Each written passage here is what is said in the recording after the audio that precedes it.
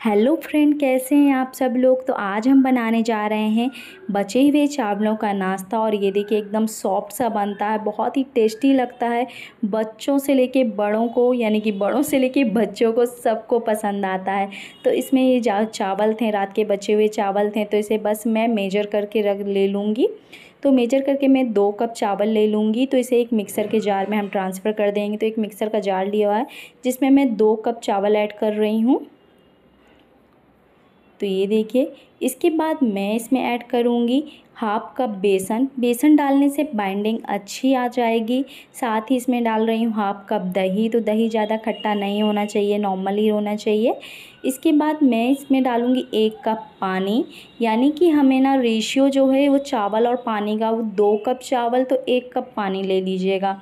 तो बस फटाफट इसे हमें ग्राइंड कर लेना है, पीस लेना तो हल्का दरदरा ही पीसना है, एकदम फाइन पेस्ट नहीं बनाना है। तो ये देखिए, मैं आपको चेक करके दिखा देती हूँ, एकदम दरदरा सा ये ये देखिए। तो बस अब हमें किसे ट्रांसफ़र कर लेना है बाउल में।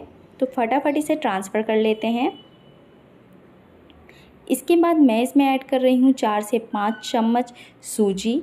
तो सूजी डालने से भी बाइंडिंग अच्छी आएगी। जो पके हुए चावल होते हैं ना, उन्हें बाइंड करना बहुत ही ज़रूरी है। वो अपने आप बाइंडिंग नहीं आती, वो चीज़ नहीं आती है बाइंड नहीं होते हैं। इसीलिए हमने इस सूजी को और इसको सूजी को अभी साइड में रख देते हैं कलर लेते हैं।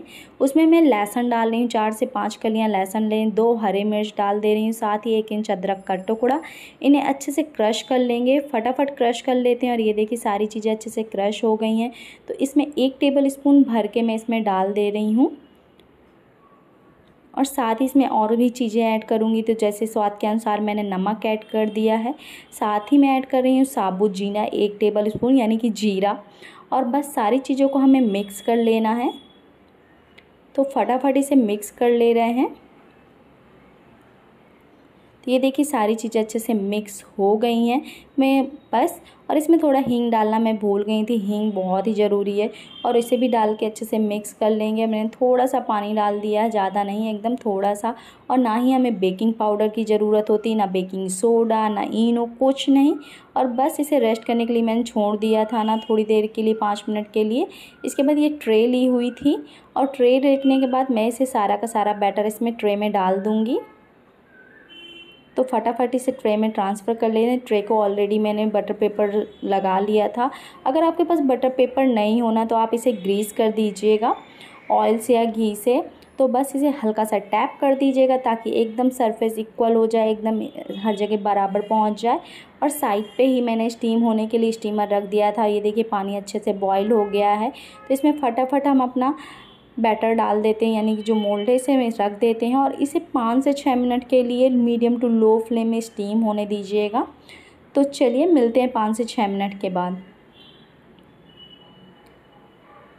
तो ये देखिए, पाँच से छः मिनट हो गए थे। हमारा जो नाश्ता था, वो एकदम परफेक्टली कुक हो गया था। तो एक बार इसमें नाइफ डाल के, कुछ भी डाल के, एकदम एकदम क्लीन आ रहा है ना तो यानी कि कुक हो गया है। तो इसे निकाल लेते हैं और निकालने के बाद इसे थोड़ा ठंडा होने दीजिएगा। एकदम तुरंत तुरंत नहीं पलट लीजिएगा, गरम गरम, वरना उसे टूट जाएगा तो हल्का ठंडा हो जाएगा। तो इसके बाद इसे ट्रांसफ़र कर लीजिएगा। एक प्लेट में साइड एजेज हटा के और इसका जो बटर पेपर है, मैं उसे भी निकाल देती हूँ। तो ये देखिए, और इसे फटाक से हम पलट लेते हैं और इसकी कटिंग कर लेते हैं।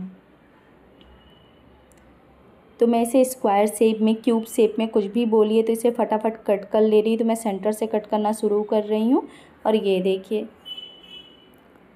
तो मैं आपको चेक करके बता दे रही हूँ कितना सॉफ्ट बना ये देखिए। एकदम सॉफ्ट सा बना हुआ है। तो चलिए फटाफट इसका तड़का रेडी कर देते हैं। तो उसके लिए मैंने एक तड़का पैन लिया हुआ है और उसमें एक टेबल स्पून ऑयल डालूँगी। ऑयल को अच्छे से गर्म होने देंगे। ऑयल जब गर्म हो जाएगा ना तो इसमें एक टेबल स्पून मस्टर्ड सीड, यानी कि सरसों के दाने, साथ ही एक टेबल स्पून सेसमे सीड्स, यानी कि सफ़ेद तेल, साथ ही मैं इसमें डालूँगी कुछ पाँच से छः करी लिप्स डाल देंगे और बस इन सारी चीज़ों को अच्छे से सौते कर लेंगे। सारी चीज़ें जब सौते हो जाएँगी तो इसमें हम जो हमने बनाया, स्टीम्ड किया है, चावल के नाश्ते को उसको हम डाल देंगे। आप इसे ऐसे भी खाएँगे ना विदाउट तड़का तो वो भी बहुत अच्छा लगेगा। तो बस, फटाफट इसे एक मिनट के लिए सौते कर लिया। इसके बाद भर के एक टेबल स्पून मैंने इसमें डाला सांभर मसाला और इसे अच्छे से मिक्स कर लेते हैं। तो ये देखिए, सारी चीज़ें अच्छे से मिक्स हो गई हैं। तो फटाफट इसे ट्रांसफ़र कर ले रही हूँ प्लेट में। तो ये देखिए, मैंने इसे हरी चटनी के साथ और टोमेटो केचप के साथ सर्व किया है। बहुत ही टेस्टी लगता है। आप लोग भी इसे फटाफट बनाइए ट्राई करिए। अगर आपको ये रेसिपी अच्छी लगी है तो वीडियो को लाइक कर दीजिएगा चैनल को सब्सक्राइब कर दीजिएगा। कमेंट करना मत भूलिएगा।